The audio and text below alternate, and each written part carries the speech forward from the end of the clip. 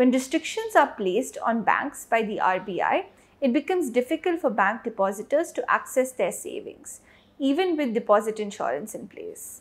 Last year, the government hiked the insurance coverage for bank depositors from rupees 1 lakh to rupees 5 lakh. With the amendment bill introduced in this session, the government is stipulating a faster timeline for the Deposit Insurance and Credit Guarantee Corporation to make payment to the depositors.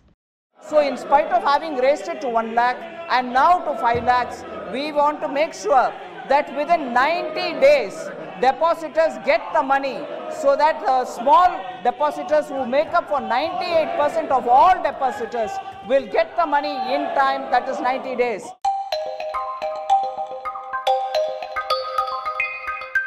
Hi, my name is Sara. In this video, we discuss the DICGC Amendment Bill 2021. But first, a look at how it works today. The DICGC charges banks a premium to insure the deposits and when the bank goes into default, the DICGC steps in and the insured deposit is returned to the bank customers. And the bank in turn then owes this money to the DICGC. Today, the DICGC's liability to pay the depositors comes in only when a liquidator makes a claim on behalf of the depositors. Now, this is a long time for the depositors to wait from the day the restriction is placed to the liquidation stage. To speed this up, the DICGC will now make payments to the depositors within 90 days in those banks where any restrictions are placed which prevents them from accessing their money. Within the first 45 days, the insured bank must furnish the details of all outstanding deposits to the corporation. Within 30 days of the receipt of details, the corporation will verify the authenticity of the claims and check with each depositor if they are willing to receive the insured deposit amount. Within 15 days of the verification, the corporation must make the payment to such depositors.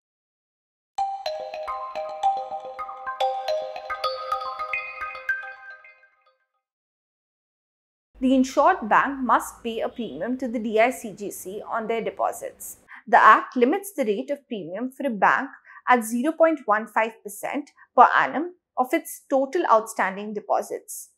The amendment allows the corporation to increase the maximum limit with the prior approval of the RBI.